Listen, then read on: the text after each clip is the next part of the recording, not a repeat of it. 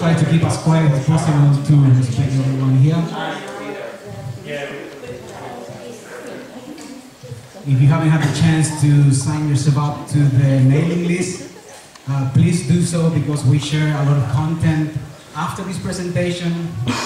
You're gonna notice that there's a lot of information that we're gonna go through, so in order for you to digest it and also do your own research, then I encourage everyone, as I say, to put your email in the mailing list that is on the computer at the front where Ita is. Uh, that way, in a couple of days, I can send the mailing list with all this content. So anyway, thank you. My, my name is Tomas. Uh, I'm the director of this community hub. Uh, we've been open since October. We're almost going to be a year now. And this is one of the events that we wanted to share with the community because we think it's an important thing whether you believe 5G is a good or a bad thing for humanity or for our community it was really the responsibility of the telecommunications to inform the community and the population about what exactly this is. But we clearly seen them to promote it as uh, something we all want, we all need, because we need faster communications and, and then it just, we don't have any power to decide whether this, we want to continue with this. So, um, hey guys. So yeah, so that's one of the reasons that we felt like as a community, as one of you, we wanted to create this space so we can share a little bit of uh, the information we have researched. And most of the presenters tonight are local people that are also concerned. So yes, an invitation to keep an open mind and, and pay attention because uh, it's really interesting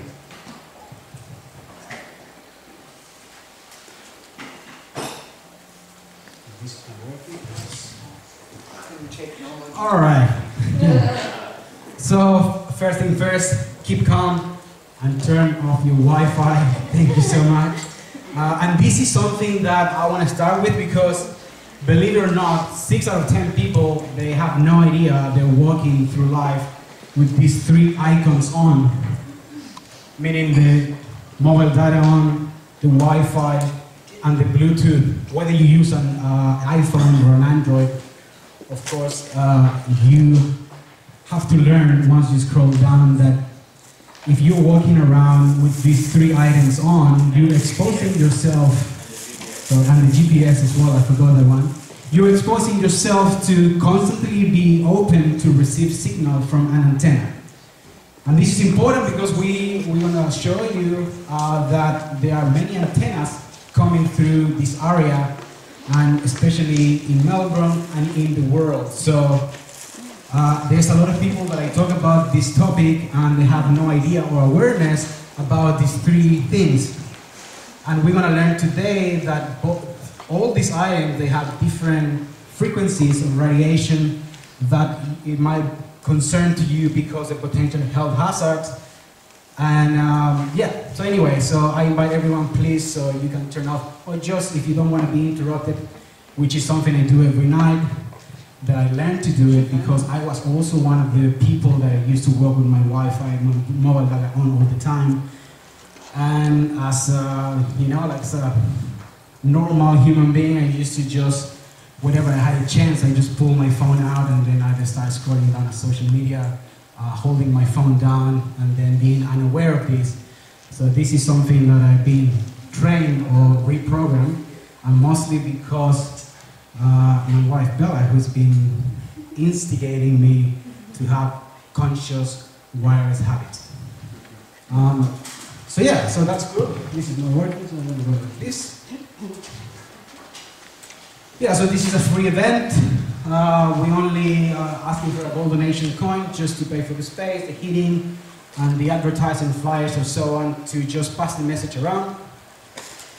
Uh, if the community have uh, is a venue hire, we have multiple rooms for consultation rooms for healers, for media rooms, for different sort of workshops. We run the farmers market once a month, so if you haven't been to the farmers market, this is an invitation for you to come and connect uh, every month, every third Saturday of the month with your local community and your local growers, which is great. Um, it's a great space where we get about 600 to 700 people every month. Um, yeah, and it's going like a mini festival, so quite alternative and just overall a great place. So if you're thinking in the future to organize your own event, uh, just come to talk to me after the, this event or anytime. Um, and I'm just gonna go briefly through this because we have a few presenters tonight. And but I want to start that uh, we didn't used to have these problems hundred years ago or before the invention of radio frequencies per se. Uh, in fact, that's something that I love to start with is that the Earth has a vibration. It's been demonstrated and it's 7.83 hertz. That's the vibration of the Earth. It was called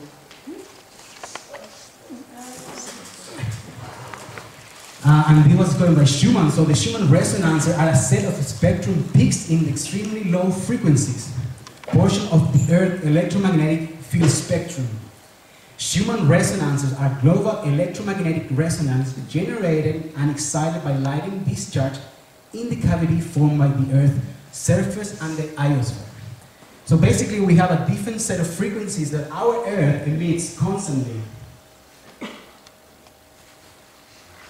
And I don't have an image here, but basically this gets to an 85 kilometer radius. And the Earth, we're gonna see that emits waves that are very long and very deep if you put it into a measuring device. And why is this important? I want to start like this because 5G is the completely opposite of that. Uh, we're going to take you through Richard, but he's going to go in detail to explain what exactly are the 5G waves and why they're so short and so narrow and pretty much 500 plus times that the Earth resonates, or even more. So it's an unnatural frequency. It's also an invisible frequency, same as the Earth, but that doesn't mean it doesn't exist. And there's plenty of documentation and plenty of scientific evidence that you're going to have access to to validate the claims that uh, we've been criticizing about any wireless technology. There is an actual frequency transmitting from A to B, and that has an impact on the human being. So um, I first want to uh, introduce to uh, Richard. Uh, our first guest speaker. He came here last time. So Richard Cullen has a PhD in electrical engineering and a degree in physics. Uh, he's worked in IT for over 20 years, including telecom companies. He experienced first-hand EMF sensitivity. So he has spent many years doing his own research on biological health effects and how to protect ourselves. He's been very active in the community, working with council members to stop the 5G rollout. So uh, please just give a round of applause. Hello, everybody. Um, it's lovely to be back here again. Um, who was here the first time round? Okay, a lot of new faces. Uh, that's great. We, uh, we had a really good uh, session first time out. And, uh, and as the way these things go, um, I've done, been doing a lot of research and I found out a whole bunch of uh, new information for myself, which uh, I'll be incorporating into what I've got to say. Uh, last time we talked primarily about the technology of 5G. I want to expand things a little bit, uh, partly because uh, Bella asked me to, but because it's also a very pertinent topic. You get to a point where you're going, but if we know all these health effects and we know all the, the, the side effects it can have, then how come it's allowed to happen? And that really gets into the safety standards. So uh, that's what I'm going to spend the second part of my uh, presentation talking about. I'm going to rattle through things at quite a pace, um, which I apologise about, but there's a lot to get through. But the slides are available online. I've shared them and I'll, I'll show you the link at the end so you can take a, a photo of that and go and have a look if you like. Um, so let's get into the technology side of things. 5G isn't one thing. 5G is a brand, it's a grab bag of a whole bunch of different technology uh, developments which are coming together in the next generation of, of mobile technology. Um, a lot of the technology developments that are becoming 5G are also being rolled into the evolution of 4G.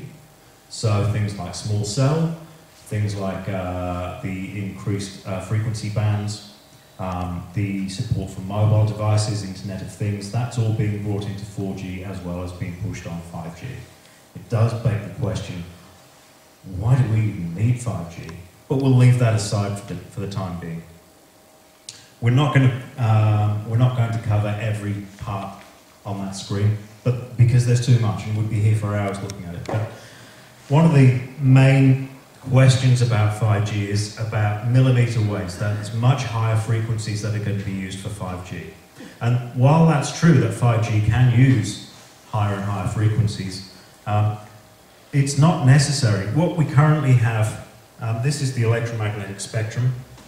Radio frequency radiation is part of the electromagnetic spectrum, as are lights, uh, infrared, makes you nice and warm, ultraviolet apparently gives you cancer.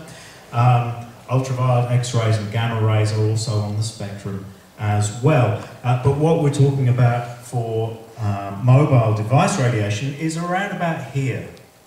Um, it's in the uh, gigahertz range.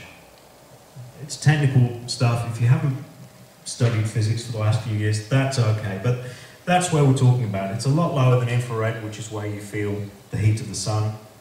Um, but it's higher than uh, sort of long wave radio. Um, and we've got a lot of things already there. So we've got analog radio, we've got digital TV, we've got Wi-Fi and Bluetooth, and 5G is going to be pushing the, the spectrum in that direction. Okay? So this is a bit of a zoom in, and it shows that uh, current mobile um, technologies are around about here on the spectrum, about a gigahertz to about three and a half gigahertz. 5G is going to allow uh, to use to, to 6 gigahertz and then higher into 24 to 100 gigahertz range. And that brings a whole bunch of technical challenges that haven't really been solved, but nonetheless, that's what's being, being talked about one of the main problems with this is that it's fantastic from a uh, data transmission point of view because you can get a lot more data through if you're pushing into higher, high frequencies. They aren't as heavily used by other things like uh, TV, TV stations. But the problem with this, and this is a diagram that shows the, the signal that gets lost as it goes through um, basically meat, which is what we are. As you go from does this thing point? Yeah, It does, doesn't it? Yeah, let's try that. So as we go from 1 gigahertz to 5 gigahertz to 10 gigahertz, we lose signal as it passes through tissue. Okay, so if you want to transmit uh, a 10 gigahertz signal uh, and you have something like a block of meat in the way, it's not going to penetrate anywhere near as well as the 1 gigahertz or under. It ends up being much more about line of sight. And, uh, and that then has consequences, particularly that they need much more um, base stations rolled out because they need much more direct line of sight. Another thing that 5G brings with it is what's called beamforming. So a traditional mobile phone station has a, uh, it just spreads its signal out and radiates it over about that arc, 120 degrees and just sends a signal out and it sits there and listens to what comes back.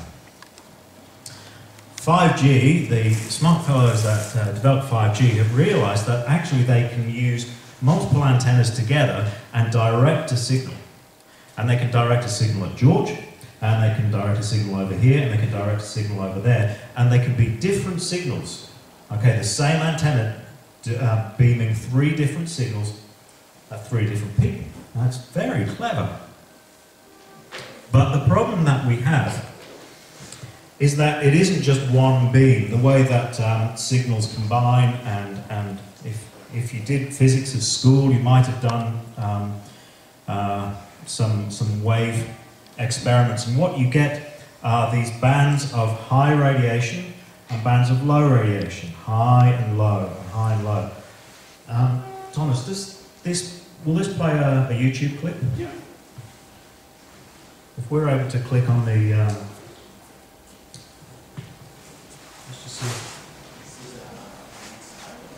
It's just this um, this box in the corner is actually YouTube, for, so let's see if it works.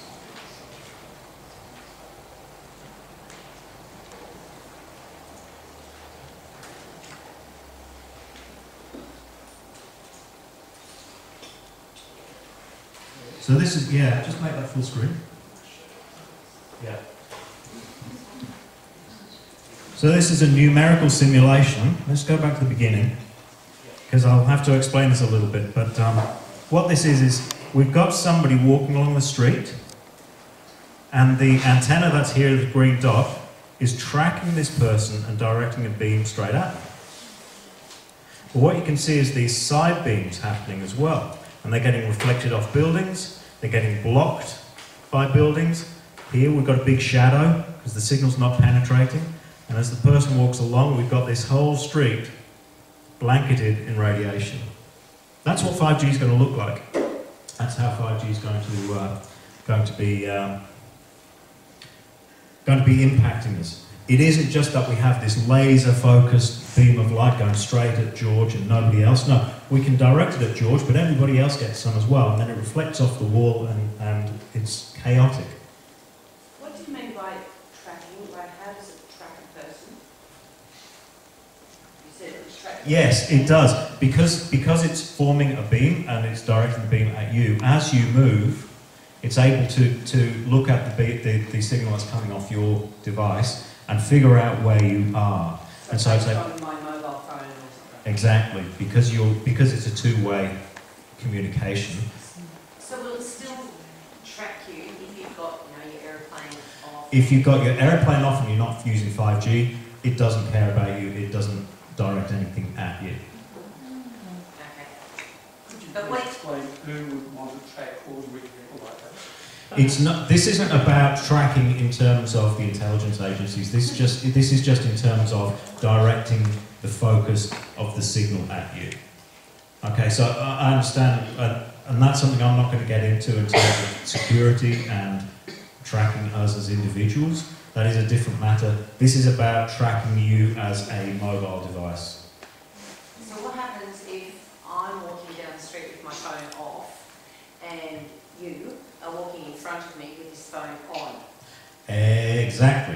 This is the problem, right? Because we're directing a beam, uh, say, at you, and everybody in the way is going to be uh, directly in line of sight of that beam, and that focused energy is going to be getting anything, anyone, any plant, animal, bird, insect, bee, is also going to be intersected by that. But also, somebody over there and somebody over there is also going to get a hefty dose of your signal as well. So I found this uh, as I was preparing for this, and, and, and it's the first time I've seen I've seen the Telstra publicity, you know, the technical reports that they've done, and what they say is that you know we've lit up George, and that's all fine, but it doesn't talk about the fact that George is being lit up as well as these sideband reflections, frequencies, and everything else. It's, um, it's, it's highly chaotic. The other thing that um, we mentioned then is that they're going to be rolling out more and more base stations. So the typical, you know, to cover a suburb, um, they'll have four or five base stations at the moment. In order to put 5G out, they'll need to put in a denser network. And the, the upshot of this is that we don't get so many hotspots very close to the base stations because the base stations aren't as strong. But what we do see are less, you know, dark patches. It's a much more uniform, consistent field across the whole metropolitan area. You won't be able to escape this stuff. It's going to be there and it's just going to increase the average level for everybody regardless of where you are. Uh, this I got from an American study looking at um, where they've they put in some 5G towers in a neighbourhood and then they've gone to see well, where do you get signal. And what's interesting, green we get a signal and red you don't. And again, that's because the 5G signals that they're trying to propagate, they just don't work very well in the real world. Um, so this, this part of the neighbourhood, we've got very good signal. A street over, we've got nothing. So they'll be putting in another um, tower somewhere near the Missionary of Charity, uh, if you want to go there for um, whatever purpose. Um, So yeah, we're going to see a lot more build out of, of telecommunications equipment, and you're not going to find uh, dead spots for very long. Another thing that the technology brings is that um, we currently have Wi-Fi, we have Ethernet cables. Ethernet cables are great, they're high speed, they're secure, but if you try to get too far away, the, signal, the, the wire gets in the way. So that's a problem with Ethernet. So then we'll use Wi-Fi, which isn't as fast. Um, it's also, if I move out of here, away from the Wi-Fi signal here going next door, I have to connect onto somebody else's Wi-Fi network and put in the username and password, and then that has to connect, and it doesn't work very well. Um, 4G doesn't have that problem because you can just go from cell to cell to cell, the phone just connects on, and you don't even know that you've moved from one uh, base station to another. It hands off very smoothly, um, but it's expensive. Uh, if you try and run, uh, you know, kids who like to stream YouTube on, on a 4G plan, you're going to be up for a, a hefty bill at the end of the month. We've also got Bluetooth, so you can have your Bluetooth headphones, Bluetooth devices, everything's connected, including more and more um, embedded devices, things like you know, internet-enabled fridges, temperature sensors, cars, everything else. 5G effectively brings all the benefits of these technologies together into one shot, meaning that you won't have to have a broadband router in your home because you'll just be on 5G. You won't have to have a separate mobile plan from a base from a from a broadband plan because it'll all just be 5G. You won't need to worry about running a network cable to your uh, home computer because it'll just be on 5G. Sounds terrific, right? Um, but it would be terrific if it was benign, um, but it's not benign. So let's get into it. Safety. 5G is safe. I pulled up uh, this uh, series of, uh, of, articles that have come out in the last month or so. 5G uh, hysteria is coming because we're all just being hysterical. Uh, Telstra has done surveys that showed that it's well below safety levels. Um, New York Times, it's the health hazard that isn't. And it's just a big health scare. So, with that, thank you very much. Let's go. Not so soon. No, no, I've got a, I've got a whole second half to go. We're talking safety now. No, no, no. Um, this uh, this article appeared in a Swiss um, online magazine recently, um, where uh, residents in Geneva are experiencing headaches and all kinds of health symptoms, nosebleeds and the like, because the 5G has been switched on. That's the first one where I've seen real world um, first-person experience being reported in, uh, in the media. Um, Davis, uh, over the weekend, put out a phenomenal rebuttal of the New York Times. Well worth looking at. She's, she's terrific. Um, and I've been trying to, I've been starting to read the thesis of uh, Don Maisch, uh, who did uh, his thesis at the University of Wollongong about um, wireless safety in Australia. He also wrote a chapter for a book which I've got my copy here. Um, and I forget the name of the book, but that's okay. He's uh, very well uh, versed in the subject of wireless safety regulation in Australia and why it's totally perverted. Oh, there it is. Corporate ties that bind. That's it. That's a 2016 book. Uh, Don's page in that is superb. It also talks about things like the nuclear industry, uh, the corruption in that in the UK. Uh, so it's a real global um, piece, really eye-opening. In Australia, uh, radiation, because this is what we're talking about, this is non-ionising radiation. Okay, ionising radiation is X-rays, gamma rays, and sun ultraviolet, where it can knock electrons off an atom. Um, radio frequencies are non-ionising, but all radiation in Australia is governed by ARPANSA. For non-ionising radiation, ARPANSA bases its standard on work done by ICNIRP, the International Committee on International Commission on Non-Ionising Radiation Protection. Well, doesn't that sound official? Just so we're clear, you would expect that somebody with a title like that would be commissioned they're not commissioned. You'd expect that they're under the auspices of the United Nations or someone like that. They're not. You'd expect that they'd have an open uh, election process where people are nominated. They don't. ICNIRP is registered as a social club in Munich.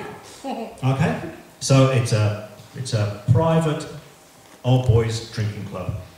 But nonetheless, they're used to set the standards that are used for radiation protection uh, in a number of countries around the world. The dark blue countries all follow ICNIRP. So we've got the UK, France, Germany, Spain, Norway, uh, lots of South America, and of course Australia, Indonesia, a lot of South Asia, Japan's in there. Interesting to note, there's a little country here called Russia. They don't follow it. No, there's, a, there's another one here called um, China. Uh, they don't. Um, and there's one here which actually, that's interesting. Israel is, is highlighted in dark blue. I'm surprised at that. I thought they had different standards, but that's okay. The US is under FCC, but guess what? It uses the same uh, principles as, as ICNIRP anyway, so it's no better. But Russia and China and some of these blue areas, these light blue areas, they have dramatically lower standards. So these are the permissible power levels that we can get. So Australia, UK, US is on the right here, maxing things out at, um, I think it's 10,000 watts, uh, 10 watts per centimetre squared or something like that.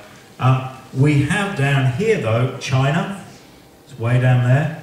Ukraine is way down here. Um, and then we have certain cities, including Brussels. Oh, that's interesting. Uh, I think there's some, some big organisation based in Brussels. Is it the European Commission? That, that would be it. So, so they have, they have the lowest standard that I'm aware of, whereas the rest of us are up here. So, what does safety mean? What does a safety limit mean? These are the maximum permissible safety levels. Okay, so a safety level is just an arbitrary point. Okay, it's a, it's a level that if you exceed, then the regulator will come and talk to you. But it's just been picked, and it's been picked based on, on, on research. Now, this is interesting. I found this uh, researching for, um, uh, for this event. What would happen in Sydney if you applied the Brussels uh, level of, of radiation protection? You would not get telephone signal in most parts of Sydney. Here we have Sydney nicely covered, uh, but if you applied the Brussels uh, standard, then you wouldn't be able to put out um, mobile mobile phones like we currently have. And it is a, it's been recognised as a major problem for Brussels where they aren't rolling out 5G because they can't guarantee that they'll be able to do it and maintain within the radiation limits that are there. Australia, it's fine because we have a different decision about what safety is. Uh, put out their guidelines, and then the Australian government, through ARPANSA, um, codified that into a, uh, a national standard. Uh, any guesses when the standard was published? Given that mobile phones have developed heavily in the last 10 years or so. That's right, this was published in 2002. So it's bang up to date. Although, although what did have uh, a minor update in 2016, but they didn't fix the spelling mistake that was on the second page. What mistake? A spelling mistake. Spelling. Yes. Let's not get into factual mistakes. They can't even get the spelling right. Um, this is a diagram of a uh, mobile phone base station on the top of a tower. If you have, this is the, um, what is this? If we're in Australia, we can stand just outside the yellow and we'll be safe. If you're in Brussels, you have to be over here before you're safe. So that's the real impact that the Australian safety regulation system has, is that we're able to get such higher density of wireless devices in the Australian environment than, uh, than other places overseas. In places, sorry to interrupt, but it's relevant. This Brussels, did they develop their safety limits on research or just because they too just picked a number? That is the $64,000 question. I have sixty-four thousand. So, reading the PhD of Don Maisch, uh, and I haven't got all the way through it yet, but what he concludes is that there's two ways of applying a regulatory framework to define safety. One is a precautionary, and one is a permissive basis. And in the US, for instance, where they have uh, what's the Environmental Protection EPA? The Environmental Protection Agency got really wound around the wheels in the way that it was trying to define and manage um, safety limits. It was going into the weeds with in, re- relation to research and, and everything else, and they couldn't make decisions. So they decided to simplify it, throw out all the radiation that was too, uh, all the research that was too hard, and just go whatever the industry says, because industry is the expert. That's what we'll go with. And if somebody comes along and is able to disprove that, then we'll we'll fix it afterwards. Okay, they went for the put it in place and then we'll fix it later. That's what ICNIRP does. That's what Australia has. And the situation now is, I don't know how we are expected to now prove uh, issues with the safety standard given the thousands and thousands of research papers that have demonstrated biological effects lower than the safety limits. That is a broad body of science now is well established that um, biological effects, health effects, occur below the safety limit, but ARPANSA, IGNA, refused to consider that. Um, so I don't know. I, I'm, it baffles my mind. It's all thermal. It is Yeah, all limits. thermal. Yeah. And in fact, ICNIRP is confused, if you want my opinion, because it says here uh, no evidence that radio frequency, electromagnetic frequencies cause such disease as cancer. Uh, the available results of the NTP study do not change this view. So, last year, the US National Toxicology Program concluded a multi year, uh, $25 million research program looking at uh, mobile phone effects at increasing cancer in rats. Okay? They weren't testing humans. They weren't testing the limits at which cancer occurs. What they were trying to establish was can radio frequency emissions cause cancer? And they concluded, well, yes, they do. And when you look at the uh, National Toxicology Program, it says clear evidence of tumours in the hearts of male rats, some evidence of tumours in the brains of male rats, some evidence of tumours in the adrenal glands of male rats. They found mobile phone radiation causes cancer. They didn't state it causes cancer in humans because they weren't testing humans.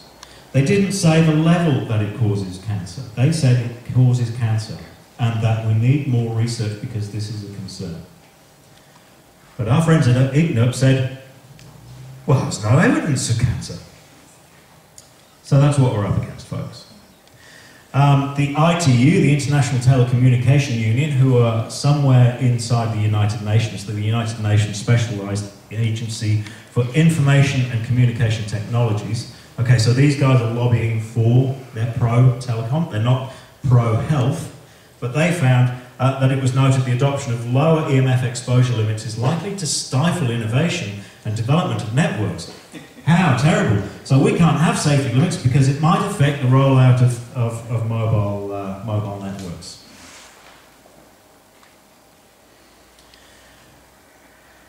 And George, you just mentioned thermal limits, and this is, this is what ICNIRP bases its standards on, that's what ARPANSA bases its standards on. Does the device cause heating in a short amount of time? Can we measure an increase in heat over a six minute period? That's what the standard's based on. Well, with 5G, we've already found problems with the thermal limit. This was a, a, a, paper I came across in the BioEM 2018, so just last year. Latest research indicates that the currently proposed limits may not prevent thermal tissue damage. All right. So, who is ICNIRP? Well, this is a gentleman by the name of Rodney Croft. He's at the University of Wollongong, and because he's um, he's leading the effort into the uh, uh, biophysical impact of uh, radio frequency radiation, clearly he has the uh, uh, he's he's well credentialed to be looking at these things because he's a oh hang on he's a psychologist. Do you think this is a head game? It's a head game. You look at ICNIRP on Wikipedia, and uh, we've got some criticism here, which I'll just read out. It's most curious, to say the least, that the applicable official threshold values for limiting the health impact of extremely low frequency, blah, blah, blah, and high frequency, blah, blah, blah, were drawn up by ICNIRP, a non-government organisation whose origin and structure are none too clear, and which is furthermore suspected of having rather close links with industries whose expansion is shaping rank- recommendations for maximum threshold values for different frequencies. Doesn't look good. On the other side, we have uh, the International Agency for Research of Cancer, who are under the World Health Organization and are actually a legitimate organization. Um, and they, in 2011, announced that they had classified electromagnetic radiation as possibly carcinogenic to humans. Yeah. I've just done a, a safety course on laser, because laser's an up and coming industry here that works entirely with frequencies and radio frequency, thermal and non-thermal. And I do recall the teacher saying that there's very little safety regulations with laser as well. Hmm. But there is a lot of evidence saying, I mean, and laser induces tissue damage for healing, and that's considered safe because people need it. On one level it's very healing, and on another it's not. But you might well find a lot more information by looking at the safety um, regulations with laser. Yeah, it's interesting, isn't it? Because um, lasers are used for, um, you know, laser cutting.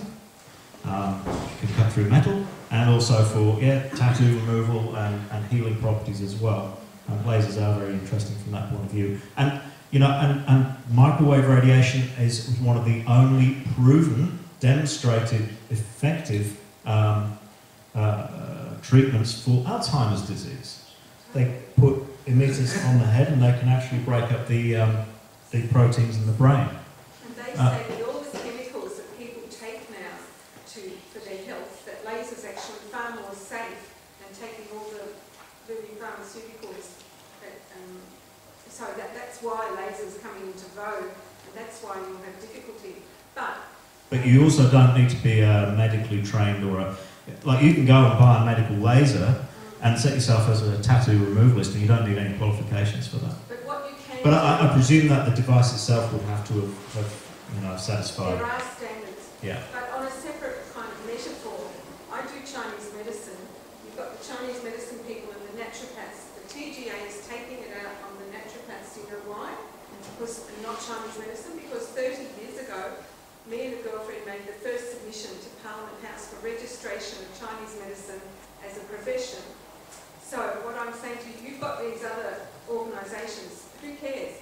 Get yourself all the evidence together and submit it directly to Parliament House and get them to confront the evidence. Yeah, and uh, we're trying to. Um, every time that we approach uh, anybody with political power, um, they just flick us and say our hands are manages. Um, I watched uh, Ray Bloom, uh, Ray Broomhall. Ray Broomhall is a, is a lawyer. He's, he's actually had a lot of success in the last few years of opposing the construction of mobile towers throughout Australia. Um, he was at an event in 2016 in, Croydon, and that's where I first met him. But I was watching because he was going. He had a couple of hour video about how to tackle this from a um, disputing construction. Uh, but he said, go and read the, uh, the, the ARPANSA was established through the ARPANS Act. And if you go and read that, then the first thing it says is that it's established to protect the health of Australians. And I believe that they are being negligent in that. And that's why I want two things. I want two things. I want a moratorium on 5G, and I want a Royal Commission on ARPANSA. Yeah. That's what I want. I want those two things. Right? I'm, I'm what I want. Because it, causes, it potentially causes cancer in humans. We've seen it causes cancer in rats. I'm not a guinea pig. My kids aren't guinea pigs. Bioinitiative report in 2012 gave all of the uh, impact, and I think, Angela, you'll be talking about EHS symptoms uh, later. Uh, but it says here the standard of evidence for judging the science, the standard of evidence for judging the science, ev- scientific evidence should be based on good public health principles rather than demanding scientific certainty before actions are taken. And it speaks to your point earlier. You know, why aren't these uh, quantified effects being considered within the standards? Possibly it's because if, um, if somebody gets burned, you can switch on the, the emission source, you can burn them, you can switch it off, and you stop burning them. It, it's unequivocal. Turning on a device, having cancer in 30 years, that's tough. They managed it with tobacco, but guess what the difference between tobacco and, and telco is?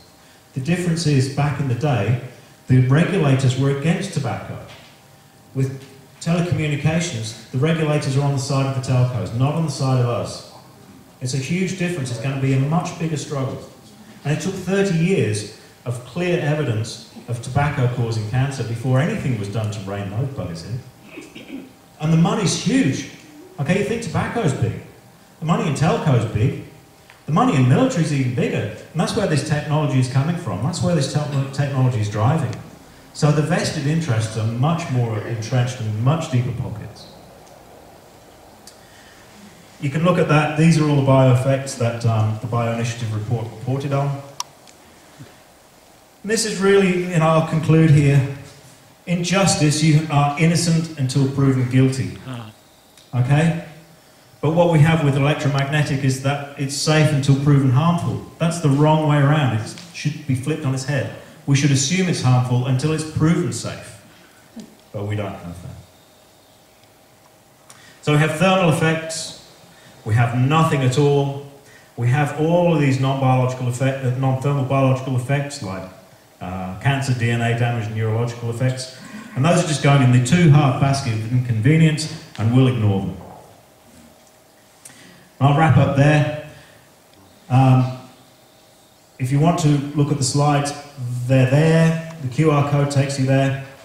I've got a YouTube channel that I'm starting up as the EMF inspector. And um, I'm just going to keep shouting as hard as I can, as loud as I can.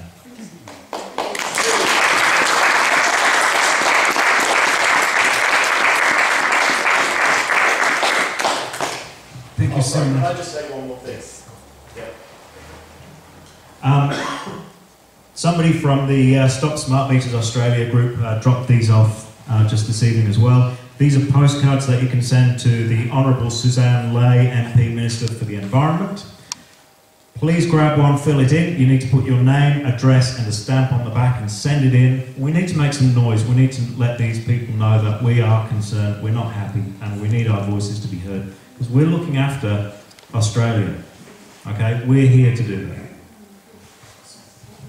Thank you so much, Richard.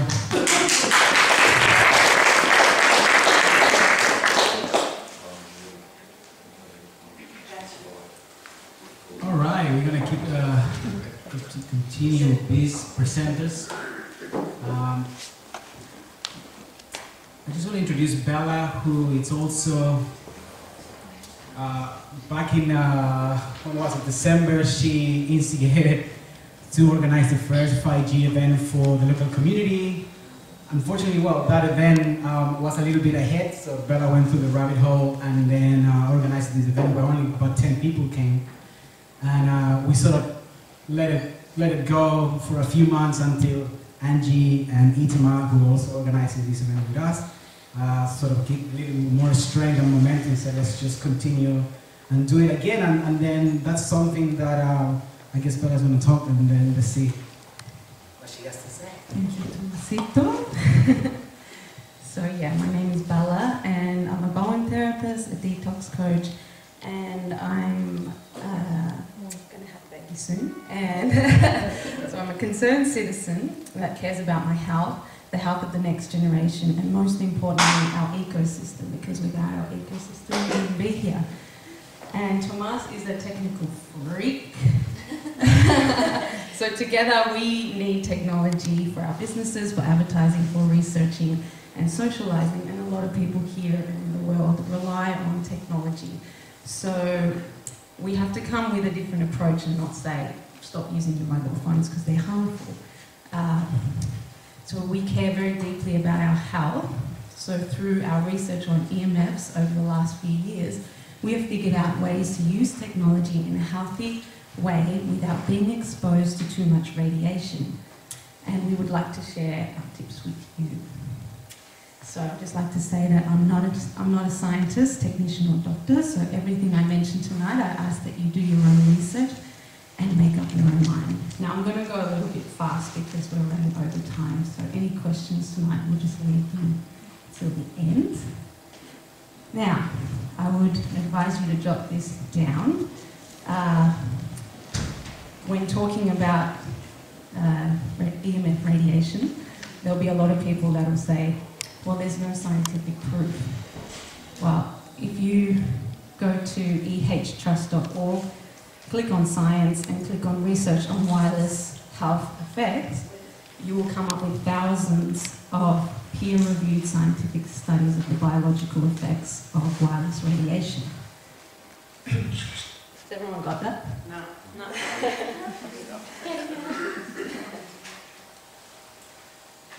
so shove that in your faces.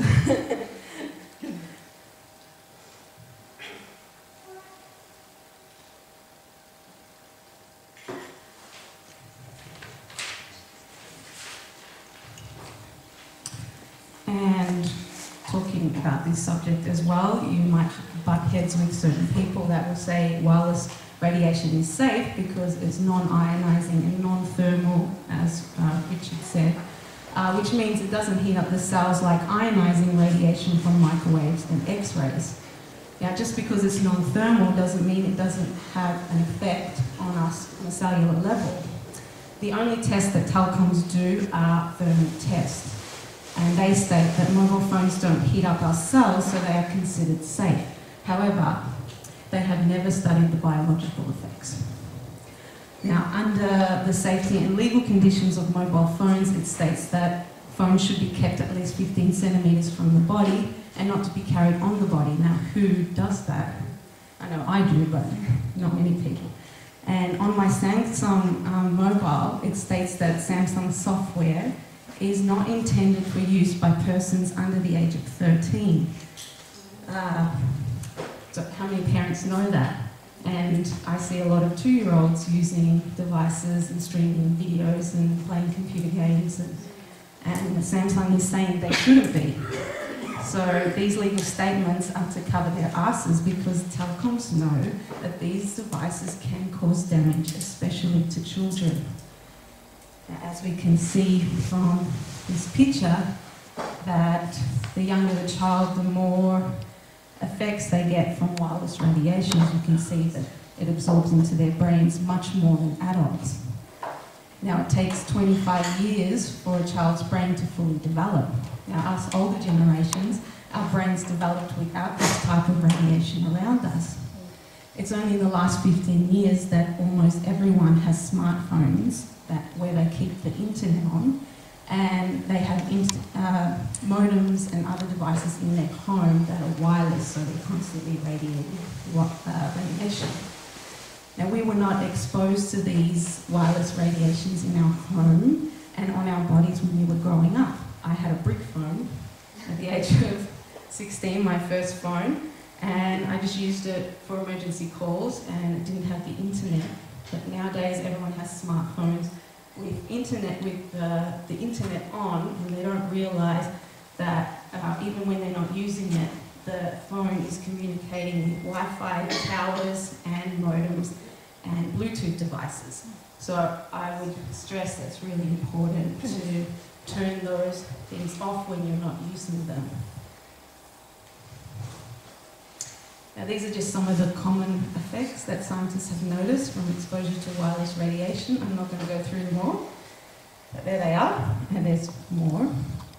A Brazilian study concluded that over 80% of people that succumbed to certain types of cancer lived close to phone towers. These cancers were primarily found in prostate, breast, and kidneys and liver. So with 5G, they're proposing towers every 50 metres. So that will not be good for our health. So we are electrical beings. That's not hippy dippy shit. It has been proven scientifically that all cells in our body and in nature communicate through electrical, rhythmic, natural pulses. The um, irregular man-made pulses that come from radio frequencies are disrupting our cells' ability to communicate. Now, Dr. Tennant is recognized as one of the top 25 doctors in the US. He has healed himself and thousands of others from chronic illnesses by bringing their body voltage back to its natural state. Dr. Tennant realized that wireless radiation and an unhealthy diet disrupts our body's natural voltage and makes our cells acidic. Our cells can only heal and regenerate when alkaline.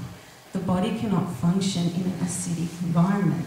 So calcium leaches from our bones to neutralize these acids, causing degenerative diseases. He also realized that all his clients were deficient in iodine. Iodine depletes when exposed to radiation. Radiation is very important for thyroid function.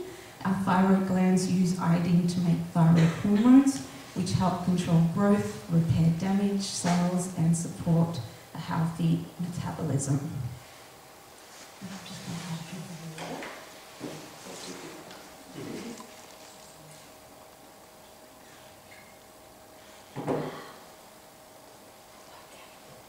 So, to stay healthy in this wireless environment, it's very important to eat highly alkalized foods from vegetables, greens, and fruits. Eat foods high in iodine that are also highly alkaline, like seaweeds, and kelp is one of the highest forms. Uh, detox periodically.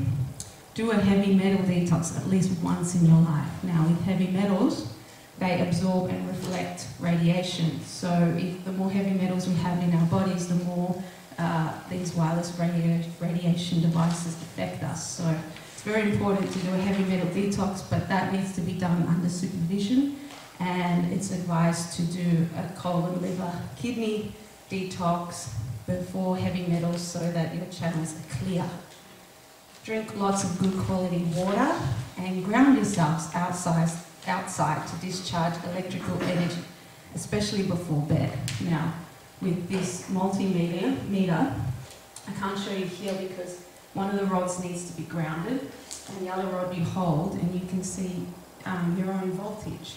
So it proves that we do have a voltage. We are electrical beings, and when you hold it and touch the laptop, especially the laptop, is very high in um, frequencies your voltage will go up astronomically. And then you can test yourself outside when you ground yourself, take your shoes off, and the body can discharge that electrical energy. So it's very important to do that before bed so that, so that you can get a sound sleep. So just on a few um, eco effects, so it has been proven that phone tower signals disrupt all flying insects and birds' ability to navigate. Insects and birds use the Earth's magnetic field to navigate back to their nests, beehives, and to migrate to cooler or warmer climates. In the last 10 years since 4G has come along, the bee population and small bird populations has decreased 40%.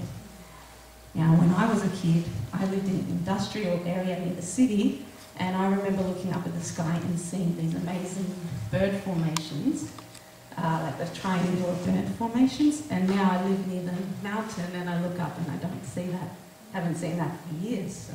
Do you have a link to where that information comes from? Yeah, there's, there's a yeah, there's a lot of. If you write your email down, It's gonna be shared. I'm gonna share. Slides and It'll be all- Yes. yeah. so, shielding ourselves from wireless radiation. Now, there are a lot of products out there, but there's really no proof that uh, stickers, plugs, and pendants work. Um, actually, they could be more dangerous. I have a sticker on the back of my phone, but there's so much radiation comes from the phone that there's no way this little sticker is going to do anything.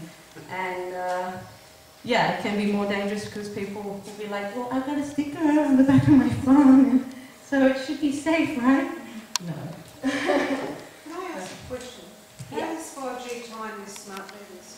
Say that again. How does 5G tie in with those smart meters? Uh, they don't.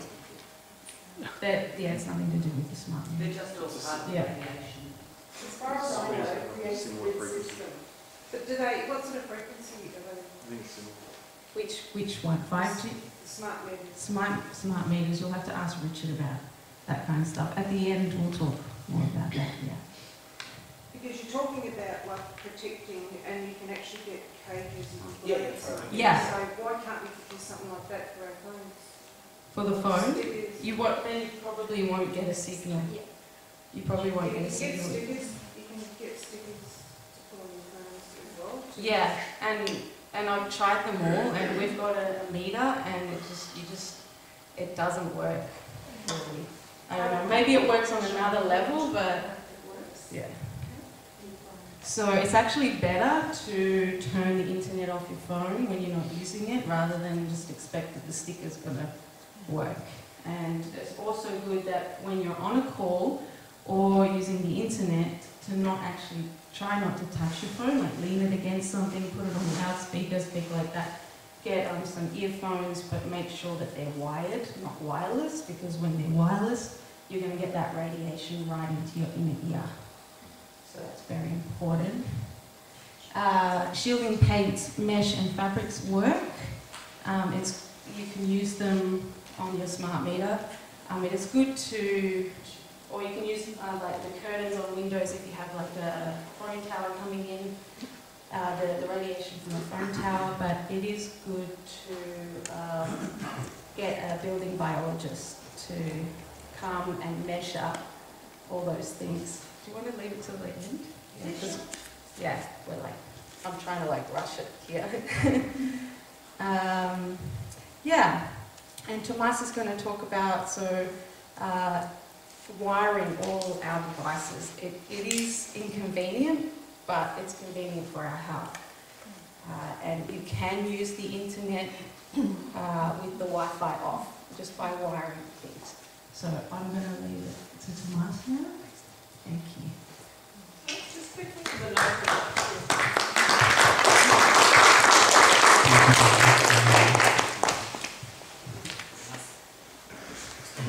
Awesome. So um, yeah, so uh, wiring devices and Wi-Fi. So um, yeah, as, as, as Richard said, it's going to be very difficult to escape from any 5G uh, exposure, especially if you're going to be in the city. Um, we're here in the hills. Uh, I think that um, we still can do a lot of things on the day basis to protect ourselves. One of the things that we did is to actually go um, and wire our house with Ethernet cords. So basically, uh, how many places do you use at home to do your work or use your laptop or your computer or even same time with your phone because I understand that more now more than ever, people, youngsters, they, they're barely using the notebook, they're using their phones. Uh, so there are also ways to use them in a more safe way, right? So that's why we decided to wire our home, put uh, Ethernet cables all around from our garage where actually our modem is. Right, so uh, we, we have uh, our modem in the garage and from there we cable to all the house. It was very inconvenient because we had to uh, purchase over 100 meters of, of, so, uh, of the Ethernet cables and there's so many different levels of quality for these guys. So uh, this is a Cat 7 gold-plated Ethernet cable, um, probably the most expensive on the market. So there's different grades of uh, Ethernet LAN cables. Uh, and, and to be honest, I have no idea until I started researching, trying to find ways to expose myself less to this. Does Ah. it make a difference on the length of the Ethernet as to the quality? Yeah, so this is this is amazing because in terms of the speed, if, if, if they come to say to you that Wi-Fi and 5G is going to be faster, well, that's a lie. Wire is always going to be faster because Ethernet, and I'm going to show later, it works through light, pulses of light. that transmit the data information through, a, uh, through the core. So it has advantages that it is, it is faster and more efficient to transmit data than a wireless system. It doesn't require to be looking for a signal, it's always connected. Um, so, so yeah, so basically uh, when I, uh, in here about uh, a couple of weeks ago, we got the NBN. Uh, the NBN has, is, going, is going active in the zones, which is fiber optics. They forced me, Optus forced me to get a new modem. Uh, this modem, um, it was 5G enabled, so it was ready to start sending me 5G signals. I wasn't given an option, it was sort of a mandatory thing, trying to organize with them uh, how to disable the 5G. I couldn't because the modem was inbuilt, so wherever I put the modem in my office or something like that, it was emitting naturally 5G waves, whether I had a device that received that signal or not. So I thought it was criminal by not giving me the information or a chance to choose. So I said, told them to screw off. I changed providers to another NBN, and I said I'm gonna get my own modem. So I just went to Jaycar's, paid 40 bucks on this little thing, uh, which I con- can configure, configure and disable the Wi-Fi altogether. Uh, mainly because I only use the, as I say, the Ethernet ports. Um, What provider did you use? What provider allowed you to choose what router? Uh, most of them they do. Uh, this one was Exetel, which is another one of the NBN companies. Um, they're probably one of the cheapest NBNs around, and um, at least they gave me the choice. You know, I think Optus and Telstra don't give you the choice. They want to force into you their modems, and they make it difficult to use and say, "I don't want 5G. Can you stop it?" So. Uh, but then, if you are going to have a modem at home, you, may, you can make sure when you purchase it that it doesn't send and it's not able to send 5G devices. So this is like 4G locked. Even if I have a 5G device and I connect to it, it won't go through that high because it, it can't go uh, that much. So the other thing that I found interesting and I discovered recently is that my phone can be connected to Ethernet. Um, and this is a $20 device that um, I'm just to do it. Just this is a demonstration, so a little bit uncomfortable. I understand that, but if you're gonna work at home with your phone for a long time, uh, and especially like this is so classic, people holding their phones. So as Bella said, try not to hold it from placing somewhere else. But even with this, was completely wired under a meter to try to test the radio frequency. There's nothing coming out of it, so it is safe. It is contained on the cable itself. It doesn't leach radiation. That's why it's so important to still consider wiring as an option to protect yourself in the meantime. Where did you get that from? Oh, just Jaycar, Jaycar, it? Jaycar. Is No, what, the device. uh, this, The the adapter. uh, this adapter. Yeah. Yeah, it's aligned to a USB, basically. And it has a little little thingy that converts it to your phone. So this is just a 20 buck thing. It's just it has an Ethernet port to a USB, and then you in Jake little adapters that goes to your iPhone or your Android, whatever. Um, so yeah, so one of the things like uh, I can understand that um, you know wireless is convenient, like you say, it's everywhere, but we have to be smart about it. Uh, we cannot just be here all the time. Uh, we see these uh, people uh, trending with the with the wireless uh, uh, iPhone, um, you know, headphones, listening to music. People that go to the gym, I go to the gym quite a lot, and I see all the people either on their phones or with the, you know, the Bluetooth headphones, and then they think they're doing like getting healthier, but the truth is that they're having a microwave right in the ear constantly. So that is just the dumbest thing. And then Itama here uh, actually has this uh, this EMF friendly um, headphones, which which fit in here. There's an air chamber that diffuse all the radiation when it's wired and then you're listening to your music, I guess. So there, there are friendly choices to make in order to help you. Not all wired earphones are okay, is that what you're saying? I think most, uh, in my understanding, most of the that the wiring um, uh, headphones are to some degree uh, not the best. Uh, in- in- there's some damage. There's some frequencies going. So it's the magnetic fields, yeah, because they've got um, very, very dense, a whole tight little magnets and, and little motors driving the, the radiation. It's right, the sound is right in your ear. So those are three, three bucks on eBay. Yeah. Okay? And they're, they're, you know what you're getting because it's got that plastic tube. Yeah, uh, and they don't quite sound as good, but they sound pretty good. Um, but my ears feel so much better. Are we able to get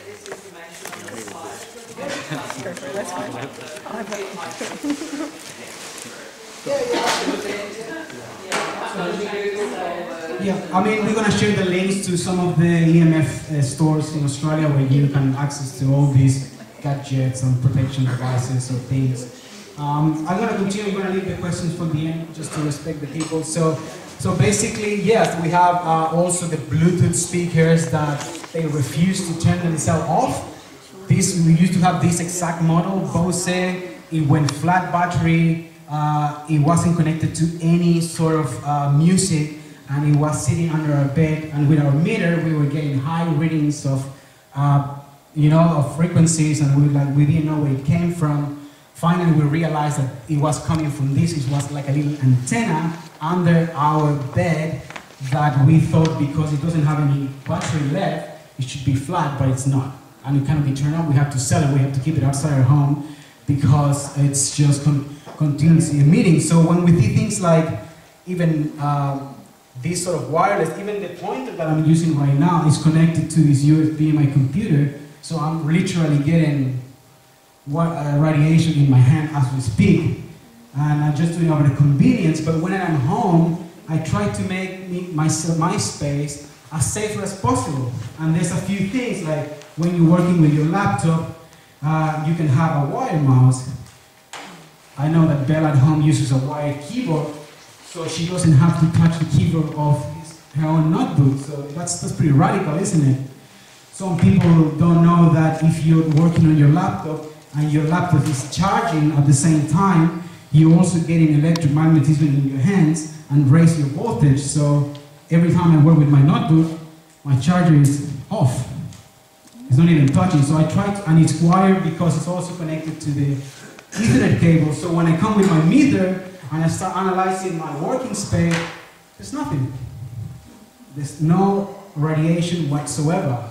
And it makes a huge difference in my performance when I'm working and, and also to, to know that I, I, I'm not exposing myself to anything. So Ethernet cables are a must, right? I understand that Wi-Fi is here to stay, and uh, there's many, many other things that uh, will continue to make the Wi-Fi safer. But in the meantime, in the meantime, the best way is to stay wired. Stay wired. When you go out and you need to use the internet, I understand. But if you're at home, then you have no excuses. And as I said, what is fiber optics? What is this? Uh, this NBN, this cable internet we have, this Ethernet? It's just it's just pulses of light transmitting data. A lot of people think that when we, we connect, for example, overseas, like from Australia, if we want to send information to South America, let's say, then we do it satellite, but that's not true. There's massive highways of fiber optics under the ocean to every single country. That's how we connect internet between nations. We don't do it satellite, that's a big lie. More interesting enough, we've got something called quantum optics, right? And quantum optics, it's, it's, it's a whole field that's been well researched for over 25 years now and doing many experiments using light to transmit data. Using light. And what do you mean, what? Can you transmit data with light? Absolutely. It's called Li-Fi. Li-Fi, it's been, it's been there for a long time. And what's the difference between Li-Fi and Wi-Fi? It's like Li-Fi, you can transmit information with a normal, healthy wave. Instead of being 5G, like a laser beam, when it's destructive and unnatural, with Li-Fi, you can use any light to transmit data safely. Why are they using that? Because monetary, because people want to make billion dollars rolling out 5G. That's the simple of that. Uh, they, and then once they realize I created all these problems, then they're gonna wipe it out and say, oh, we got now this uh, is safer now, and it is true. It, this could be rolled out many years ago, and it hasn't, and it's been pushed into the dark because there's not enough evidence to put it in a commercial thing. But there's also no research on 5G either, and they're still rolling it out, so it really doesn't make any sense. I just want you to understand that there's many ways to communicate data wirelessly and way safer and way better for ourselves. Thomas, uh, am I reading that you're thinking that this 5G will roll out? You, you know that it's been touted as a $12.5 trillion industry. Everyone's going to make Yeah. billions and billions. Exactly. It- From what you're saying, it sounds to me like there's a possibility it could, not before it affects people, but it could fall over and be some kind of like a bit of a financial white elephant if this Wi-Fi is. I, I think so. Yeah, I Possible. think uh, possibly. Yeah, exact- I, I believe the same. I think it's just part of the agenda. Um, anyway, so uh, I'm just gonna leave it there. We'll there's plenty questions at the end, and um, if you want to know more about healthy habits, just stay around after the event so we can discuss all the options. So I'm just gonna leave you with Angie. Ah, so we're gonna go. Sorry, actually, it's gonna be first. Michael. Yeah. Got Oh, sorry. I. So, I have Karen Bell here. She used to be a Ferntree Gully resident. Uh, and recently she moved to rural Victoria.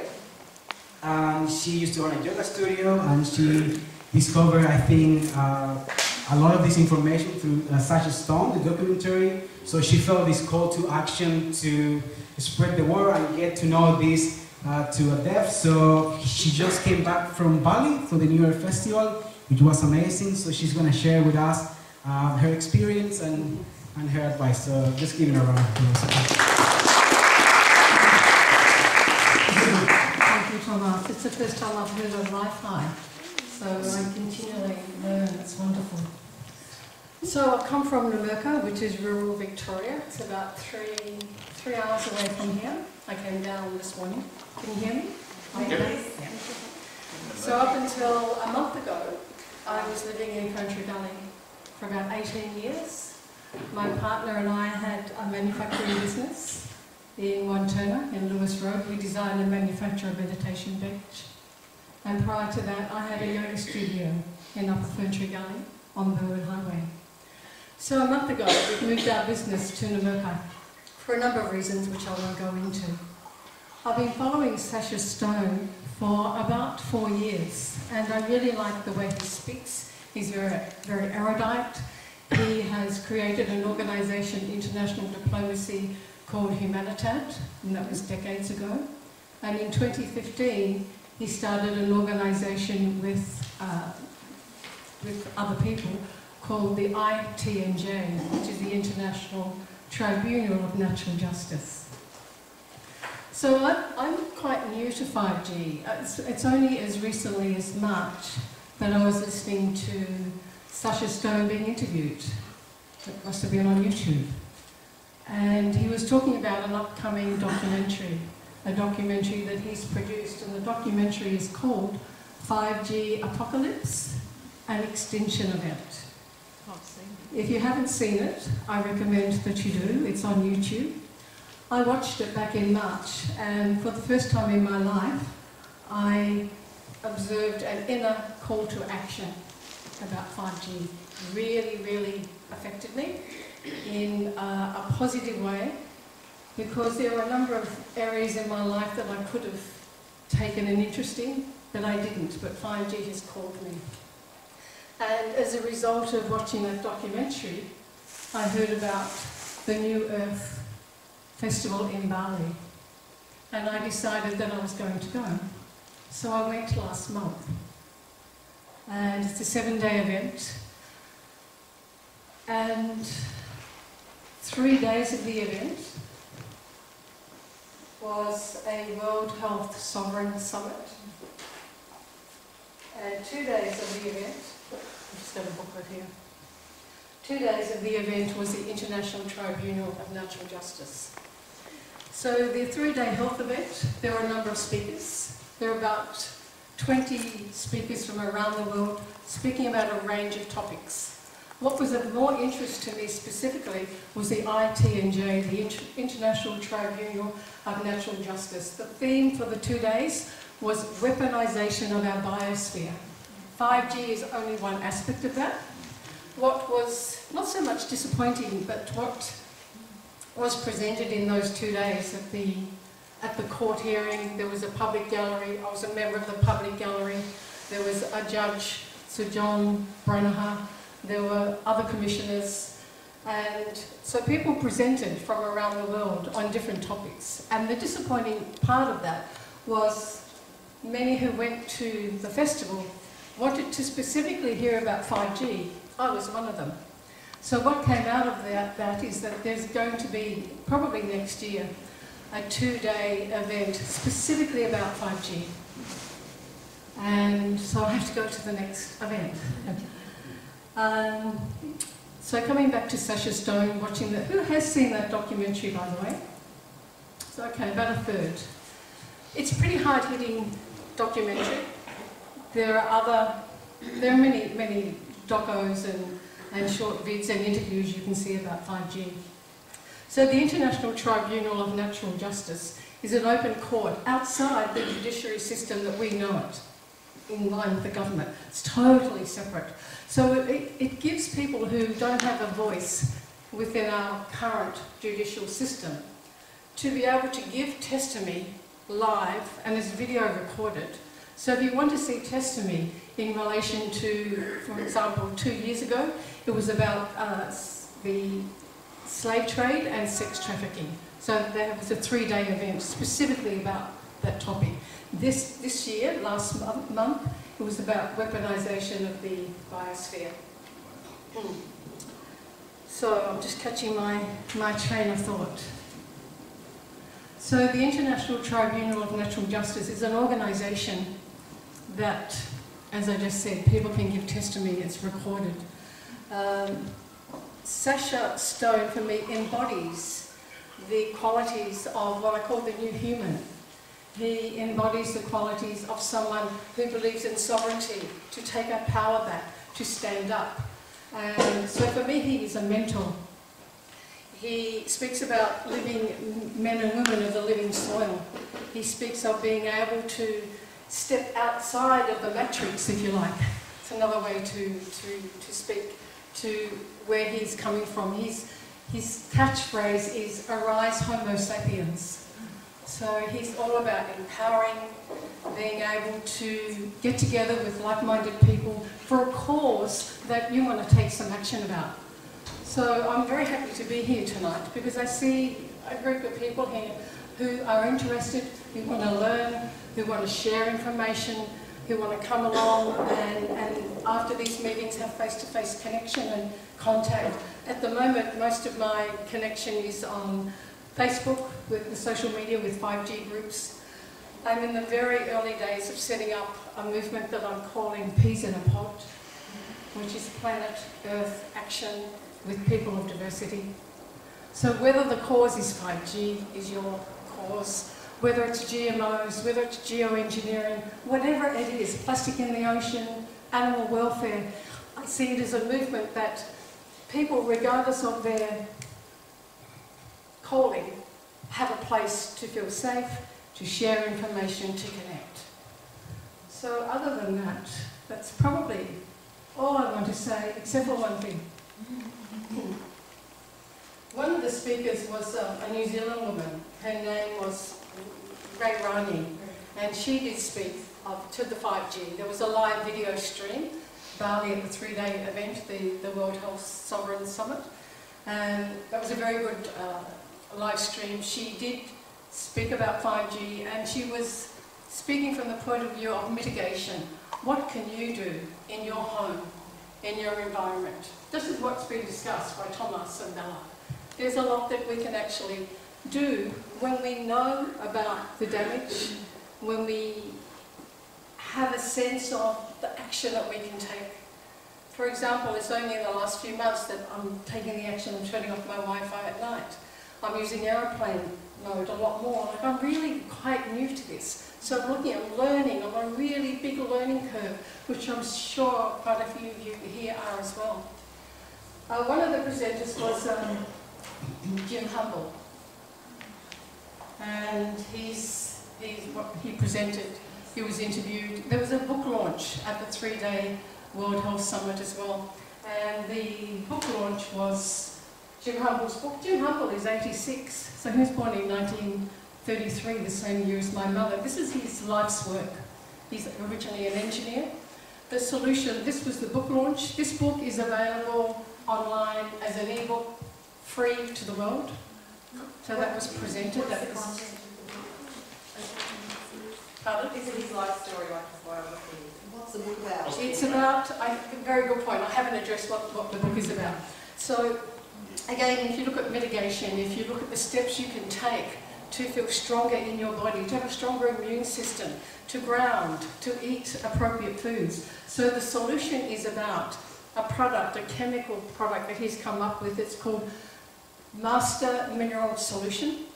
And I won't go into the name of the two chemicals, but you combine them and it activates. It essentially, in a very basic layman's terms, cleans the blood and moves on disease pathogens. So that's probably all I'm going to say because I'm not technical, I'm not a doctor, I don't have training in that area. So what I wanted to do was mention this from the point of view as a resource. He's, uh, he's been uttered a lot by the pharmaceutical industry because it's an alternative. It's a very cheap alternative where you can take responsibility and self-care, self-education, self-responsibility. So, thank you very much.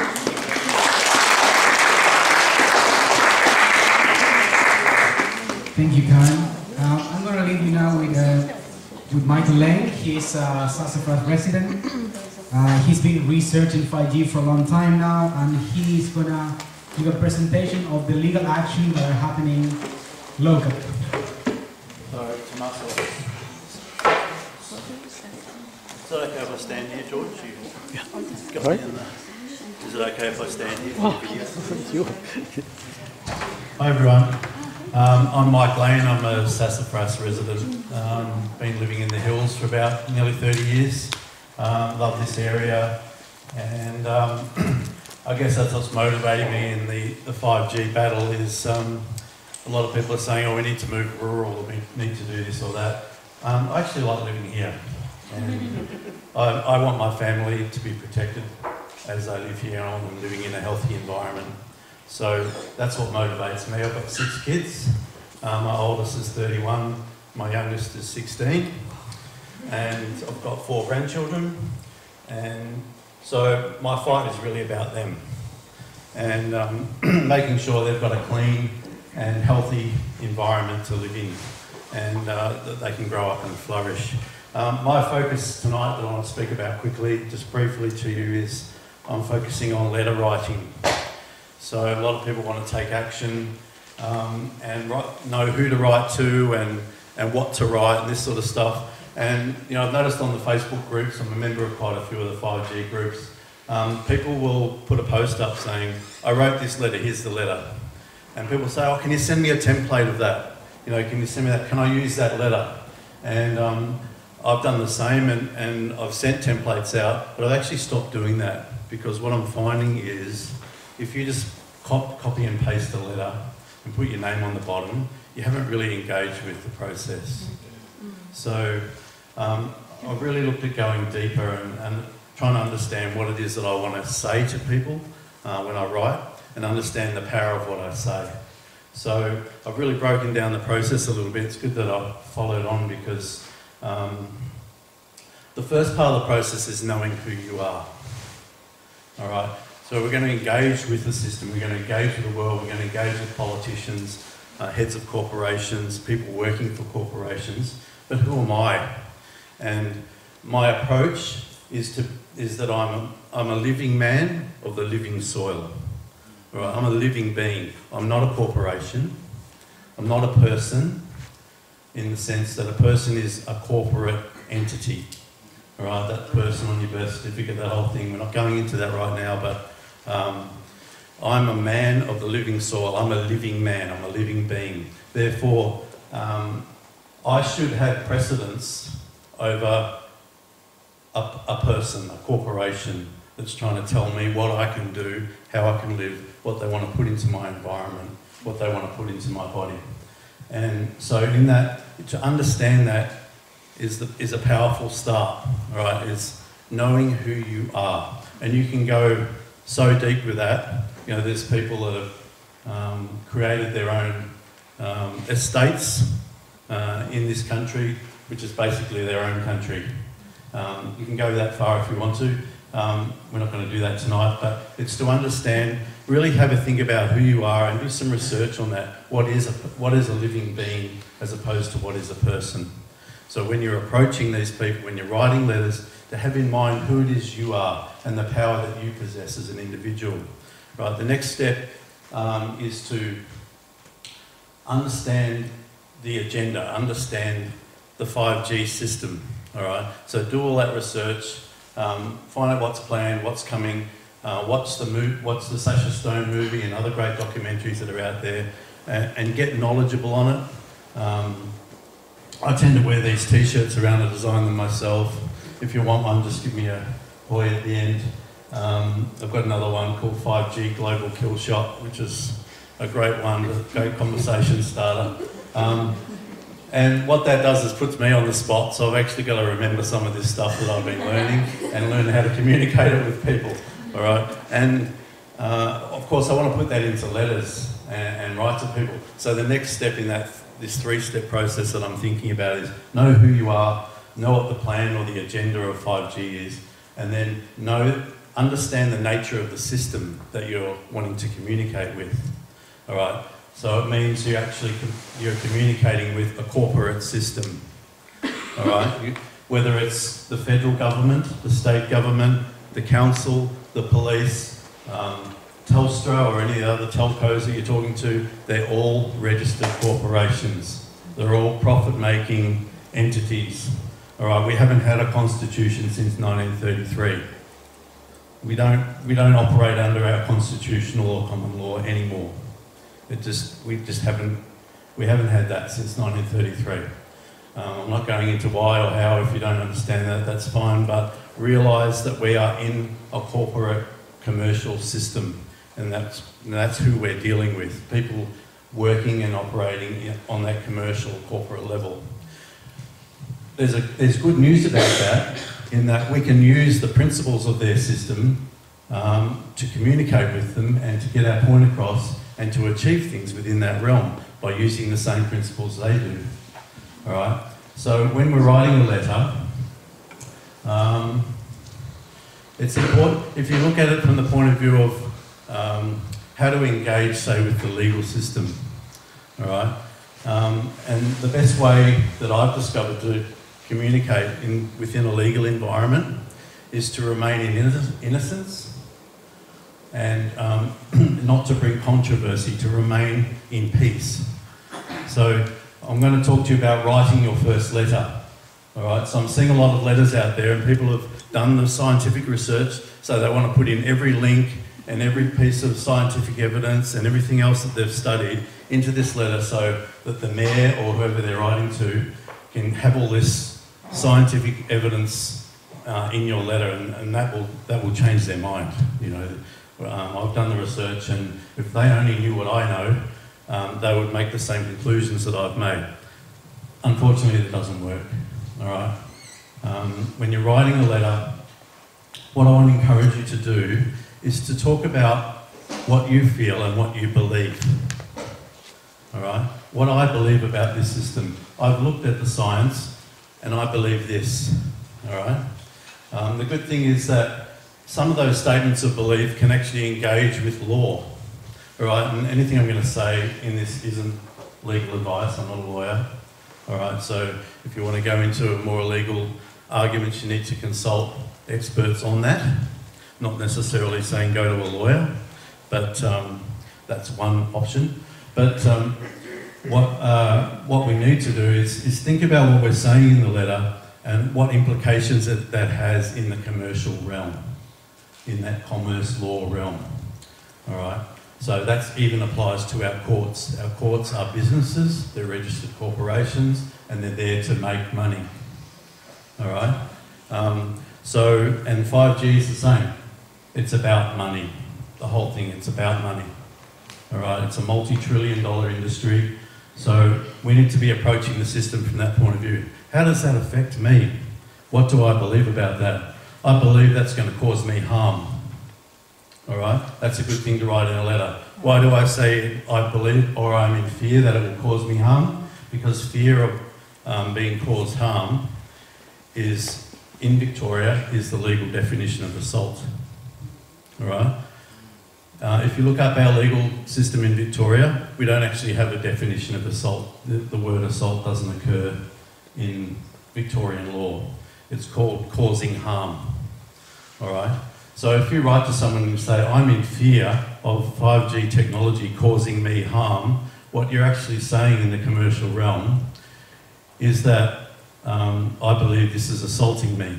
And even fear of harm is assault. All right?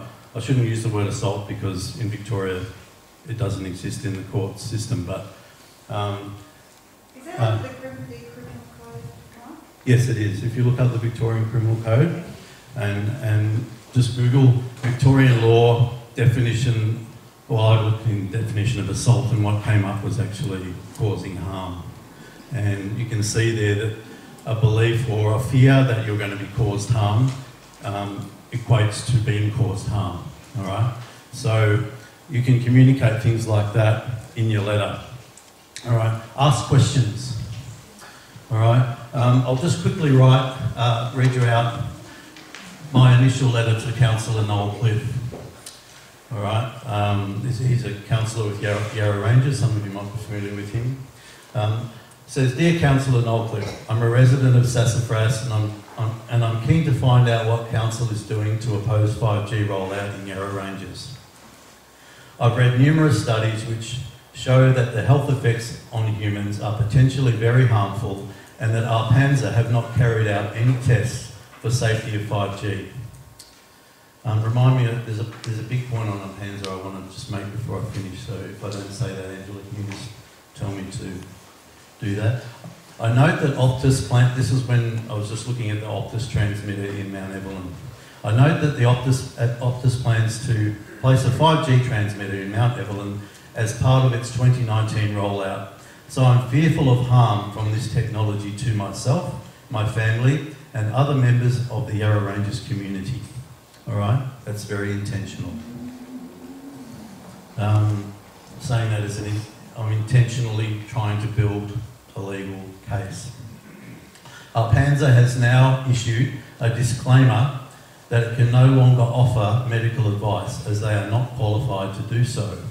To which end, I am seeking advice and letters from local med- medical practitioners that agree on the potential harm of the 5G network on the human population. All right, here's a link to the Optus rollout announcement. All right, so it was a direct link to what they were proposing to do in Mount Evelyn. I've had some legal advice also, and it appears that success is now being achieved in stopping the rollout by telcos on the basis of the precautionary principle. Um, we'll just define that quickly. Angela, you had a definition of the precautionary principle? Um, yeah, I can just read it out now. Yep. Um, precautionary principle. When human activities may lead to morally unacceptable harm that is scientifically plausible but uncertain, action shall be taken to avoid or diminish harm.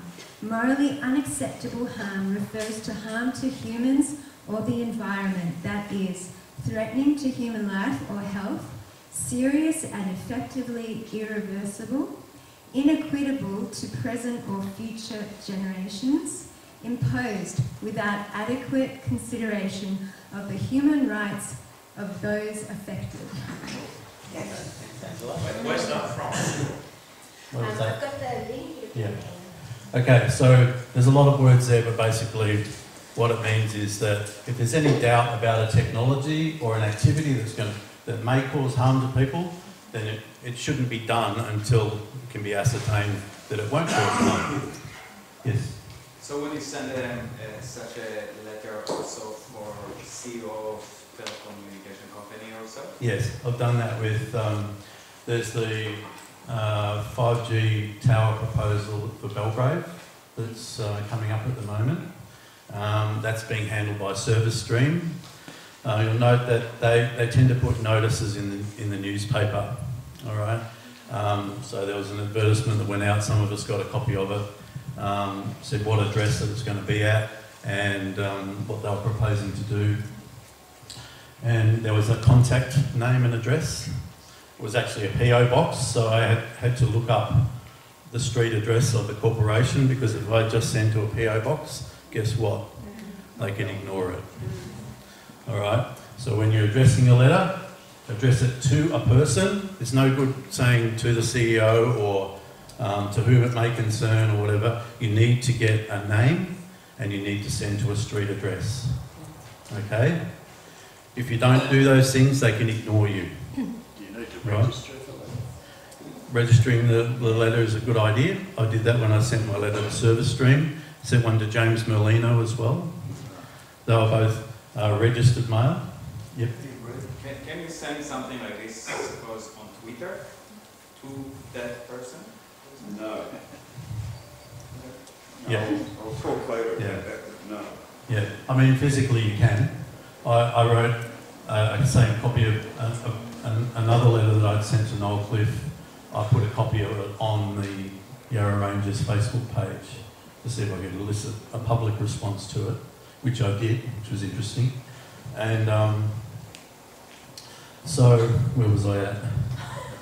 Um, yeah, so name and address. All right, so on that ad, uh, had her name and a PO box. No good. Got it. So I had to look up Service Stream's headquarters uh, um, and send it to their address uh, as a registered mail um, letter. If you're going to a politician, send it registered mail and go into their office and with a couple of copies and get it stamped that it's been received. All right. Then they can't say they didn't get it. You mentioned different people to send it to. Yes. I've sent one to Paul Fletcher and yes, I got the blow off. I did say harm, you know, fear of harm. I got the blow off to Mhm. refer up, hands up. Yep, I've yep. that. I've sent it to my state MP, my federal MP, I've sent it to the council Yep. for this notice of liability, which I presume Yep. will be coming up. Yep. Do I have to send it to everybody or is that enough? No, you don't. Um, uh, the InPower Movement, if, uh, if, if you're f- not familiar with that, inpowermovement.org, check them out. InPower Movement dot is one word, inpower, as in I-N-P-O-W-E-R, InPower Movement org. They're a Canadian movement, so they've got a similar legal system to ours.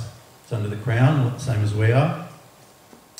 And um, uh, yeah, they've got a video, a free video you can watch on there on their notice of liability process. Um, and you can look at that. If you sign up, you can watch the second video that actually takes you step by step through their notice of liability. Well, but I'm leading up to that.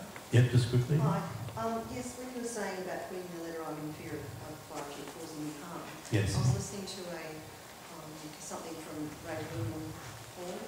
Ray Broomhall, yeah. Yeah, and he was saying that you can't, you need substantive evidence. He said you have to go to a doctor. Yeah. And that's considered substantive evidence. Yeah. If they say, yes, you have a right to be fearful, Yeah. then that will be counted. But if you just Yeah. say, because I watched you, so they won't Yeah. just wipe that out. That's that's true um, in the sense that if you you're going to go to court with your barrister, right, you're going to need that leave. I am going through the process right now, trying to find a doctor who will give me a letter saying that 5G is harm or EMR EMFs are harmful. All right, and that's a good thing. I think that's a good process to go through. Talk to your integrated health GP local and see whether they'll give you a letter. Yes.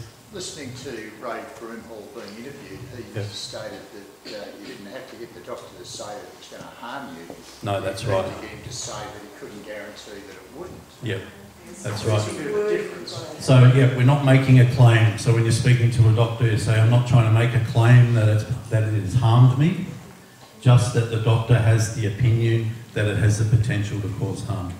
All right? That's all your doctor needs to say. And then offer some suggestions about uh, what you could do to mitigate damage My um, own to your body. would only write Yeah. patient believes that EMF is harmful. That's right. Yeah, and generally what we're finding is that I've approached about half a dozen doctors now, and they say, "Oh yes, I believe 5G is harmful. I believe EMR is harm uh, is harmful, but I'm not going to give you a letter to that effect because I'm not an expert." All right. So Wouldn't you be better off going to a holistic doctor in that? Yeah, I've done that, and the same, I'm getting the same result. And I get Um, it, so- scared that they're Yeah. going to be end up They in, are. in a That's right. action. Yeah. So whilst let's just keep the questions till the end, and I'll, I'll get this finished. i I'd love to answer all your questions. We just don't have time. Um, so uh, in talking to your doctor, let's let's let's keep doing that, and and let's share information about who's who's is prepared to write letters. All right, that's where we can connect on Facebook and other groups and communicate with one another. Um, so if you find someone, communicate it out. Um, maybe don't do that before you've got the letter, you might scare them off. but um, uh, at least if we can get a couple of people who can gather that evidence, that'd be fantastic. But what I want to do is just encourage you just to write your, write a preliminary letter. Just jump in there, whether it's your local councillor, whether it's in response to a, a proposed tower that's going in in your community.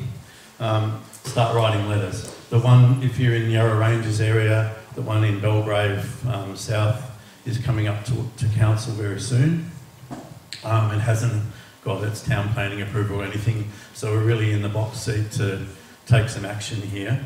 Um, the positive thing that's happened on the Gold Coast last week was, um, I think it was Ray Broomhall who spoke with a bunch of residents at the Gold Coast Council meeting where they were considering a, considering a proposal. And they, they knocked it on the head on the basis um, that Ray Broomhall got up and spoke and said, actually, if you roll this out, you as uh, individuals, you councillors as individuals, could be liable for assault. All right? And at that, they were, they were going full steam ahead. Uh, when he said that, um, everyone got worried. Oh, we can't hide behind a corporation anymore. This is person to person. This is flesh and blood, blood man and woman to flesh and blood man and woman. All right. Um, so uh, the focus of our letters is to remain in that space, in that space of people of the living soil talking to one another. All right. And so when I write a letter to to, to Barbara Grinter at Service Stream, I'm not writing to Service Stream. I'm by, writing to Barbara Grinter personally. When I write to Col- Noel Cliff, I'm not writing the Yarra Ranges Council. I'm writing to Noel Cliff personally. Do you include the corporation in the address when you write it? you Yes, yes, I do. So um, it's not so important on your initial letter, though, Richard. Just um, there, there's ways to address letters as we get more into maybe a notice of liability situation or trying to lead into that kind of process. Um, but your initial letter should be just something that will get a response. All right, So this you is what I wouldn't mean. saying, sorry, Mike, you Yeah. wouldn't be saying things like, I'm going to hold you personally responsible. No, no. Not at that stage yet. No. You want to remain in peace, remain in innocence, ask questions.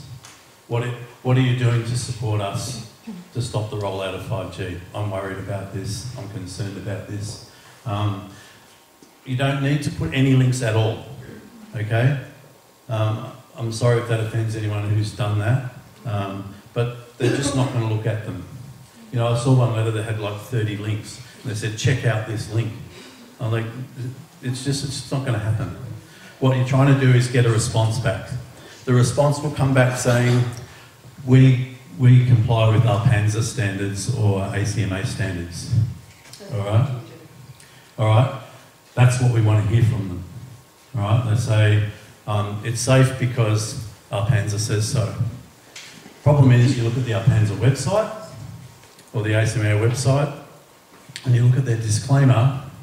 Basically, their disclaimer says every bit of information on this site um, is not expert information, it's for educational purposes only, and basically, you can't rely on a scrap of information that's on their site.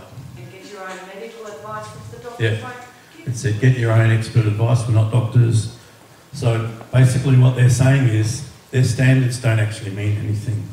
their standards don't have any kind of um, standing or responsibility behind them. There's no one actually taking responsibility for the standards, which means there actually aren't any. From a legal standpoint, as far as I understand it, those disclaimers mean that the data that they put out is meaningless. All right, so you've got these people who are administering um, uh, radiation in our environment who don't take responsibility for anything that they do or say. so, but that works to our advantage because we can move, then move into a process where we can take um, the driver's seat. George, George helped us with um, the James, James Merlino letter that uh, Richard wrote. And basically, James Merlino came back with the same thing. ARPANSA standards, are, we're, we're sticking with that. Um, what George really identified was that he looked at the disclaimer on the website and he said, hang on, this means that James Merlino is taking personal responsibility uh, for those standards. Um, then he's putting himself in a position where he's liable for the, for the, value, for the quality and value of that information. Yes, Richard. So I've had further correspondence from James Merlino. Yep. And I think it's directly as a consequence of you guys following up and putting him in a corner. He's now given me name of the individual in the department who has the responsibility for setting uh, children's exposure standards. Yep. I emailed her last week, I got an out of office until this week. Yep. I'm hoping for a reply because I only asked a very broad, just introductory, a Yep. person that sets the standards, Mhm. just to get a, an interaction and to understand that yes, this is the person. Yep. She is. Uh, she's an epidemiologist. She's a PhD. Yep. Uh, and she's a trained nurse, but she's not a trained doctor. Yep. Medical doctor. So it's going to be interesting how this. That'll be interesting to hear what happens, Richard. Um, that's great. Well, um, yeah, I haven't had a response back from James Merlino yet, which is interesting. Um, Yeah, but I did. Yeah. And it, and it wasn't, you know, I had an initial response and then I've got a follow-up response that I haven't yeah. initiated. So I think it's Okay, so what we're doing with our initial letters that we're going out, we're not trying to prove anything, we're not trying to make any claims, um, any kind of legal claims or anything like that. We're not trying to even present a whole lot of ev- evidence. We're just simply saying what our concerns are. What are you doing to support me? These are these are elected representatives, or in the case of telcos, um, you can say I'm in fear of what of harm from the technology that you're rolling out. That's basically all you need to say because you'll get the same standard response back. What that th- then does is puts them in a position of liability. All right? Then we can move into a process where we can try and make that liability stick a little, a little stronger to them, and and hopefully elicit some action like we saw on the Gold Coast. It's not the end of the story for Gold Coast. They're still considering um, the proposal, so we'll see what happens. But I think they're probably just delaying to see what actually their liability situation is. Um, but if we're approaching everyone from that point of view, that in our mind we come in peace and innocence, we ask questions, but what we're really doing is leading them into a situation where they're going to say, uh, let's all rely on the ARPANSA standards. And of course we know they don't exist. All right? So like if, you- do end up getting, um, these corporations, politicians, where decision makers, Yep. individuals. Yes. We come at them from peace and innocence, actually making a stand and saying, well, we go by our plans and standards. Yep. Therefore, they're accepting liability themselves. So i- i- is, so what if we do get a bunch of those letters? Okay. What Yep.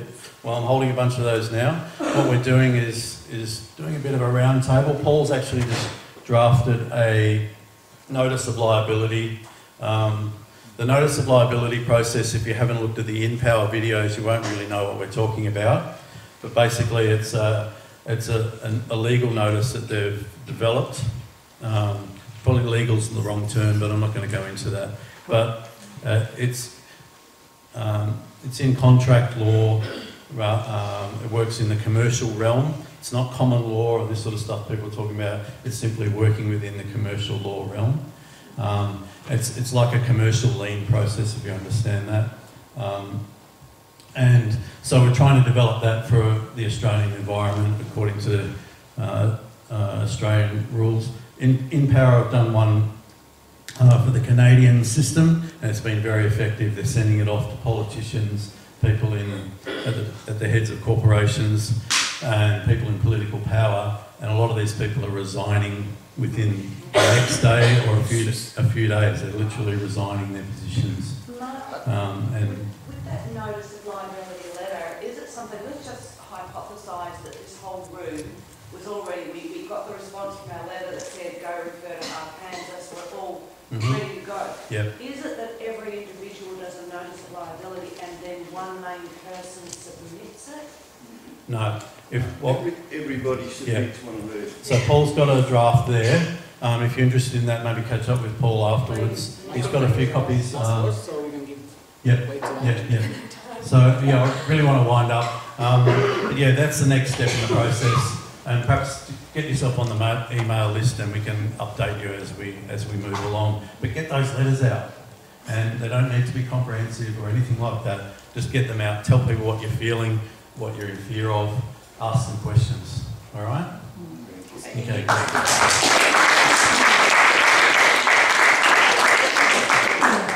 All right, we